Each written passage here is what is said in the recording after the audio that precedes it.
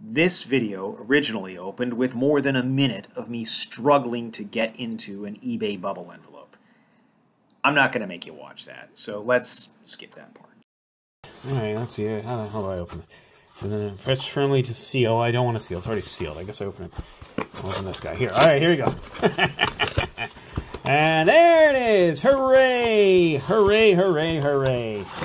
Alright, ooh, and I got some free peanuts. Cool. So, the box that I was waiting to get was this box of 2022 Topps Chrome. This is a hobby lite. Um, and uh, the reason I wanted the lite is, of course, the lite was the only one that was actually issued with the uh, sort of the base versions of the short print guys, uh, the five rookies who were included in the short print series 221 through 225 on the checklist, uh, they were only included in the lites. They weren't included in hobby. They weren't included in retail. It was only the lites. So I uh, I figured I'd, I'd you know make a play to try to get one of those rookie cards for those five guys. Like those are the rookie cards that are going to matter the most here. So let's go ahead and open this. I'm trying to protect the face because I actually want to add the face of this box to my back wall here behind. Oh, wait. That's right. It's Wander Franco. The box. Uh, there we go. Do, do, do, do, do. And uh, open it here. Do, do, do, do, do. There you go. Peel back that plastic. Protect the face. There are, of course, the four uh, speckled mini diamonds. I'm not going to say I don't care about those, but they're not high on my list of things to focus on. That's for sure. There we go. Now, there are, I think, 16 packs in here, each with four cards, which makes for 64 cards total. That feels right. Let's go ahead and put these on the treasure chest over here, move the knife out of the way, and let's see what we get. You know, in retrospect, now that the 2023 season is over, it's easy to look back and see, you know, which of the guys on this checklist made a difference, right? Ryan Vilade of the of the uh, of the Rockies, rather. Well, he's one of our speckles. Um, he did not do a great job here in 2023. Uh, Anthony Rizzo with his concussion things. Uh, he had, you know, his own issues. We got Sean Manaea. We got Whit Merrifield. This is just the weirdest looking picture because it makes it look as if he has achondroplastic dwarfism. As far as I know, Whit Merrifield is actually a normal-sized person, does not suffer from any genetic disorders, which would cause him to be smaller than average. Uh, you got Mike Yastrzemski. Here's another one of our speckled diamonds. I got Schwarber, Jeff McNeil, Freddie Freeman, Connor Wong.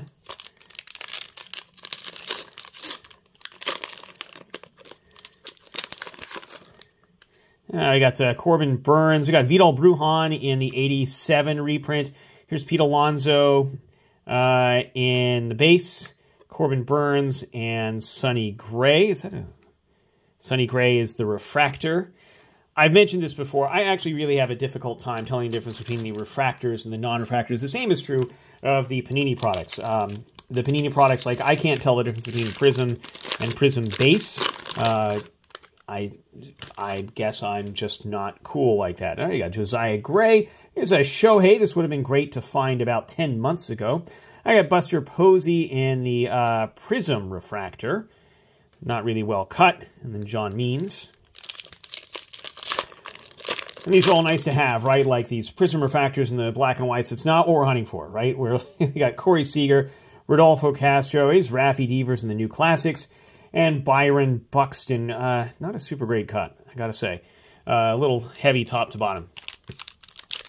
Now, one of the things about waiting for this uh, box is uh, last year these boxes retailed for a 90 $99, I think it was. Uh, and this year I managed to get this on eBay for just 45 which felt pretty darn good when all is said and done. I got Mike Moustakas. Here's Oneil Cruz, uh, Nick Madrigal, and Nelson Cruz. I got to say, I, I wish Oneil Cruz had managed to stay healthy.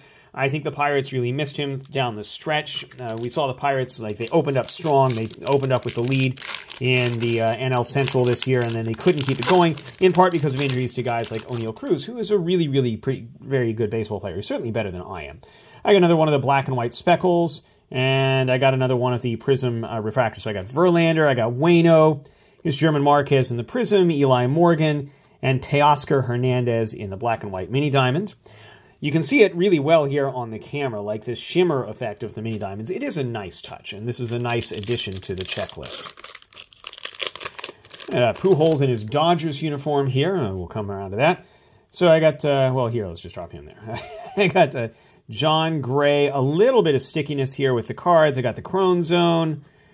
And you are stuck to, it's just him. All right, Zach Short rookie card.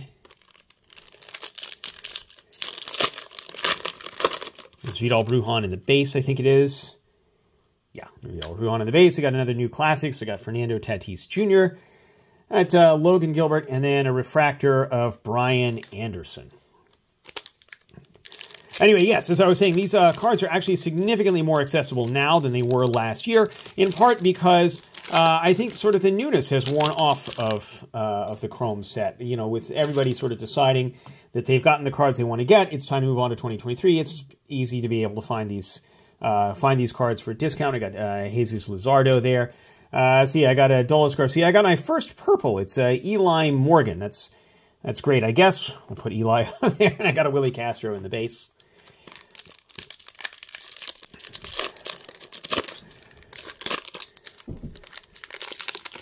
You saw the armature just uh, jiggle a little bit. It's because I had a cat just jump off the table. And uh, Manuel Rivero, Austin Meadows. Here's Freddie Freeman in the 87. And Yu Darvish.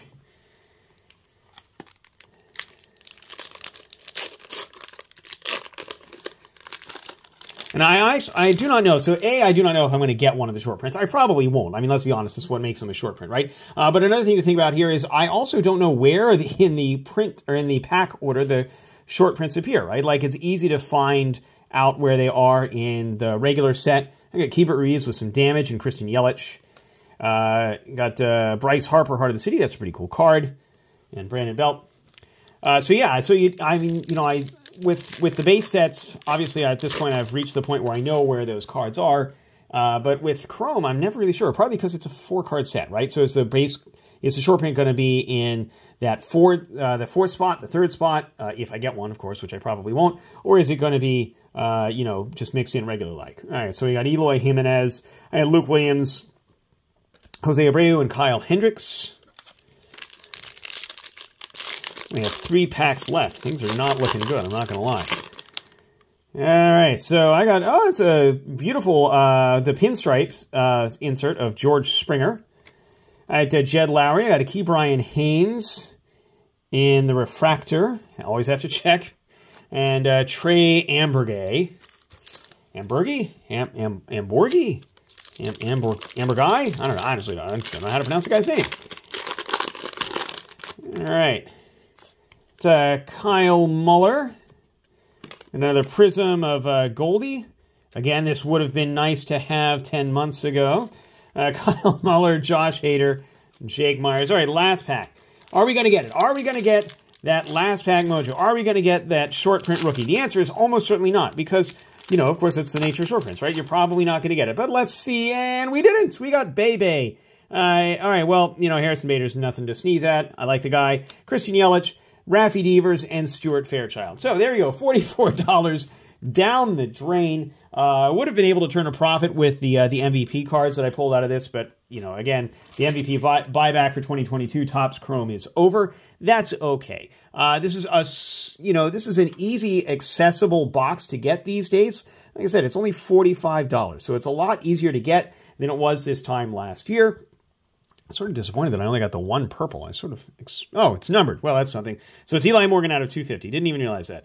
Well, that's Okay. Anyway, it's a lot easier to get this box than it uh, was this point last year. There's probably a reason for that, right? Like the number of actual hits in 2022 Topps Chrome is, truthfully, it's fairly low. You're more likely to get hits, frankly, out of Topps Chrome Update because that's the one that had the, the actual regular prints of the rookie cards of the five guys that Topps decided were the most important rookies of the year.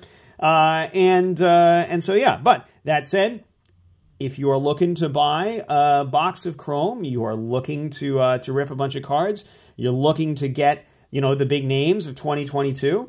Uh, you know the the Hobby Lite box, 45 bucks.